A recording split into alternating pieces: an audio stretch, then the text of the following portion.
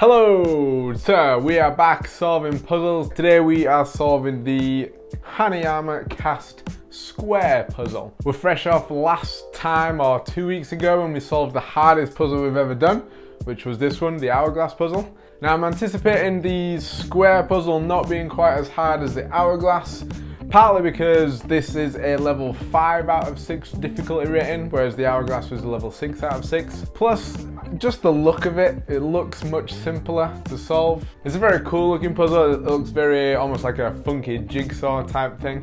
Probably not going to be quite as easy as a jigsaw, but let's see how we get on. So, here it is, the square puzzle, and this is a very, very nice looking puzzle. What I didn't expect is that it's identical on the back as it is on the front. I didn't expect that. I don't know why, but I expected almost like a just a blank back. Although there's not really a front or a back because both sides are, are they exactly the same? They look it anyway. So what we're trying to do, we're trying to get from this position into these four pieces. I need to bear in mind what it said on the box. What did it say? Uh, what's more, these pieces have a secret. Each time their arrangement is changed when recreating the original shape, the solution changes. So I need to bear that in mind as we're going along. Ooh, this, that looks cool. So I'm guessing, yeah, every time I'm, well, this is clearly the original position, but what changes when we sort of separate out? Feels like that's open as it's gonna get right now. Then next it feels natural to sort of have some movement this way, up and down. But how does the solution change every time it returns to the original position? Does that mean that you're making progress by getting it into a certain position and then moving it back and then getting it to a different position? Or does it mean it's you're starting again from scratch and the solution, or you have to do a different thing that you did have to do before? This is, I don't know how this is staying together because it looks like it should be just so loose, but I guess because there's a bit on top here and a bit on the bottom here, then they can't just separate like that easily.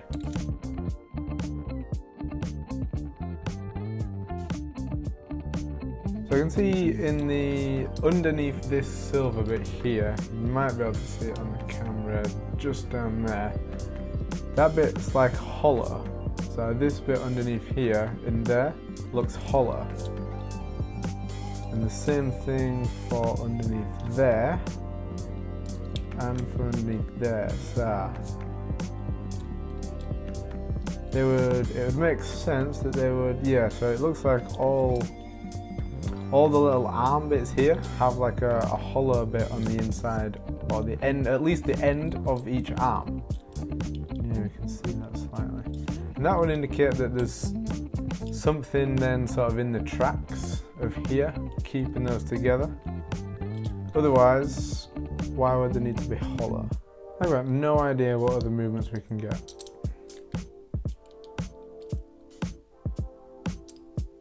got a bit of separation there.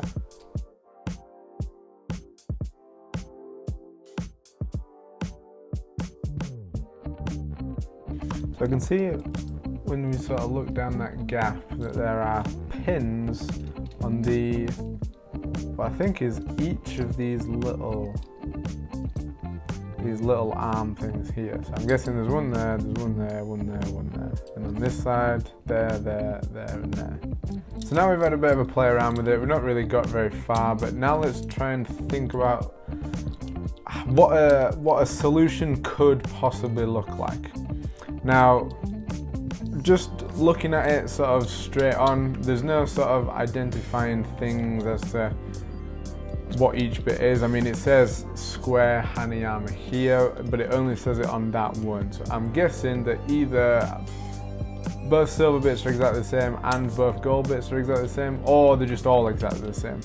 And if they're all exactly the same, it makes me think that, right, so it's probably not a case of untangling two bits or one bit or three bits. It's probably a case of there's a position where all four bits separate at the same time almost like the delta puzzle. I feel like there's um, possibly a position where everything just sort of just slightly skips past each other and all four bits in this case separate at the same time. When we come back together, this position always seems to get stuck here with like a little rectangle there. I don't understand how the solution changes every time you go back to the same position. I don't understand that.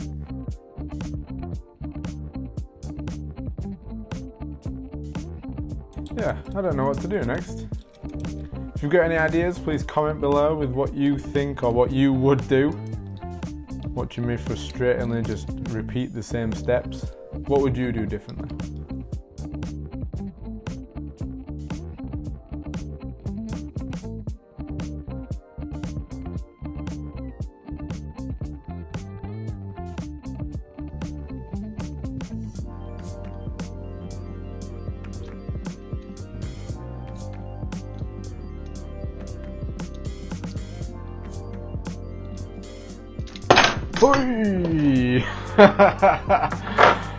no idea how that happened, but where's the other big one? How did that work? We got it apart. We solved it in like I don't know, 20 something minutes. Interesting.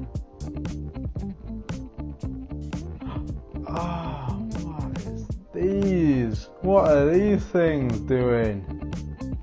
Right, let me figure out what is going on in here. So before we put it back together, yeah, I, I don't know, I can't explain why yet, but obviously these, these things that are falling down in here are obviously what keeps it together got you've got one of these in every single one on on in exactly the same place. Because all all these pieces apart from two being different colors I think they're all exactly the same. And obviously what these grooves then do actually matter because it's those grooves that these things in here slide into. And obviously there they now can't come apart of those things that are in the way. I'm not sure as to like if there's a correct order or something like that as to how they separate. And now I, like these two bits are genuinely stuck together. Now I, I, I don't know. yeah, I don't know how to get these apart now. Wow, that's so clever. I thought it'd have to be all four bits have to be together for it to for it to separate. So God knows how we got it, uh, how we got all four bits to come apart at exactly the same time. I'm gonna have to figure that out. So first of all, we're gonna have a go at putting it back together, and then I'll figure it out. I'll, I'll figure out how the puzzle actually works, uh, and then I'll come back to you. Then we'll summarize at the end, and hopefully I'll have something to explain to you that's better than, wow, look at this. This is, this must be how it works. And I'll actually have something concrete to tell you about. So here we go. So let's put it back together first.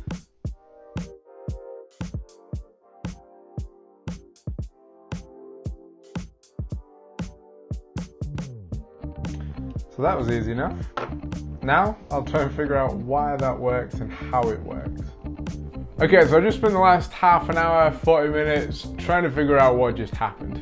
How did we separate each bit all in one go? But there was no routine that I was following, there was no strategy that I was thinking maybe if we pull this one and then this one and then this one. It was just pot luck, I guess. What I have managed to notice is that there is a slight difference between the silver bits and the gold bits. Now, early on we talked about there being grooves in like the arms of each piece. And they are important, or they are where the difference lies, because the grooves in the gold bits are sort of like walled at each end. So if, if this is the arm shape, there's those little hanging bits that kept dropping down, similar to what's in the news puzzle. Those, as soon as they get into that gap, they can't get out unless you flip them upside down and, and you get the pin to drop. However, on the on the silver bits, there is like almost like a ramp coming up. So at the end of the arm, it's sort of like a straight down wall. But as you, if you were to push them back together, there's a ramp for the pin to sort of slide up and retract back into. And I think it's when it's, well, it's quite clearly, it opens when all those four pins are out of the way. Almost exactly in the same way as these, uh, as the pins in the news puzzle. But on this one, how you get the pins out of the way is that you spin. You spin it and each pin sort of comes apart. That doesn't work with this square puzzle because the pins are sort of downwards or hanging downwards. From testing it, the spin doesn't work with this. It is about using the ramps on the uh, or in the arms of the silver bits that gets this open. I'm not a hundred percent sure of like the routine that you have to go through or the way that you open it just yet, but when I do the proper solution video for this puzzle in a couple of weeks, I will in that time have mastered this and the reasons why it opens. So hopefully that very nondescript explanation of how this puzzle works helps you in some way or gives you at least a little bit of understanding of how it opens. The good news is we managed to solve it and we managed to solve it relatively quickly. The last puzzle that we did, the hourglass I mentioned, the, the new hardest puzzle, that took us about two hours and 10 minutes or just short of that. Whereas this one took I think around 22, 23 minutes, possibly a little bit less. So this is a much, much quicker puzzle, even though it is a level 5 out of 6 difficulty eh, according to Hanayama. Personally, I would say it's maybe a level, a level 4, I'd guess. I like the level 5s and the level 6s to have steps to solving them. I, am not a big fan of the higher levels being ones that open all in one position. I like there to be a, a routine or a steps to follow or a, some sort of progression to getting it open rather than yeah one place one position everything falls apart. I feel like the level threes and the level fours should be more along those lines. Or follow that pattern. So from that you're gonna guess or you can guess that in terms of where this ranks on our difficulty scale easiest to hardest this one's not gonna be up the high end based on time, based on how it opens. Even though there was, I, it wasn't figured out, the solution wasn't masterminded and I knew how it opened. It was luck in a sense, but the harder puzzles, you shouldn't be able to be lucky with these ones. The luck should not play a part in solving the harder puzzles in my opinion. So because of that, we're gonna start down this low end and we're gonna work our way up. So uh, this is harder than the loop, is harder than the news puzzle, which is level 6. Again, disagree with that completely. It's harder than the violon. It is, ah, to be honest, is it even harder than the violon and the dot? Probably is. The Yeah, I'd say it's harder than both of those. Is it harder than the cake puzzle? The cake we sort of, we know, or we knew it was going to be a certain position that opened it and eventually we figured it out so it probably is harder than that. The Delta puzzle, I'm really not sure about these ones. The Delta, the donuts, uh, is it harder than those? It's definitely easier than the Elk, which is also a level 5, so it's definitely easier than this one. Is it easier than the donuts puzzle? No, I think it's harder than the donuts puzzle, but it's not quite as tough as the elk puzzle. So I guess there we go. It's gonna sit between the donuts and the elk puzzle. So there we go. It sits very much in the bottom half of the puzzles that we've done relative to difficulty. That doesn't take away from how good the puzzle is though. It's a, it's massive to be honest. It's massive, it's very heavy. It looks very pretty with the gold and the silver colors. Uh, it works really well. It's a very smart puzzle. Yeah, I, I enjoy it. It wasn't the quickest or it wasn't the longest, sorry, and the most challenging, but it's still a very, very good looking puzzle. One problem I am having is I'm running out of space to be able to show all these. I'm not quite sure how we're going to line them up in the future when we do genuinely run out of room. If you have any suggestions for how I should line them up so that they can all be seen and stay in the same order or in an order of difficulty, then please suggest below with your comments. But thank you very much for being here. If you enjoyed the video, please click like, please comment with whatever you want to comment below with. If you want to watch us solve some more of these puzzles, then click those two videos over there. You can click my face just here to subscribe, and I'll see you next time. Peace!